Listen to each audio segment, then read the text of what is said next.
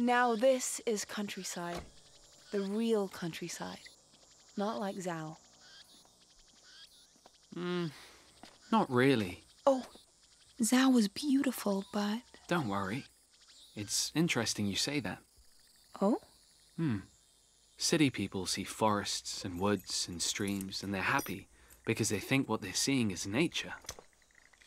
Apart from back deep in the mountains, almost everything you see here is the work of a farmer. That's so. Sure, of course it is. The river? A dam, And those woods. planted, And this stream? dug. Irrigation.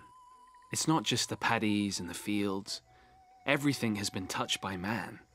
Our ancestors cleared this and cultivated that, encouraged mushrooms, berries, wild garlic. Really? Yeah. This scenery's come about by lucky accident, as people have struggled with nature to get what they needed to survive. So without people, this scenery wouldn't have been here. No, it wouldn't have. To get what they need from nature, farmers have to do a lot of different things to make sure that nature will continue to provide forever.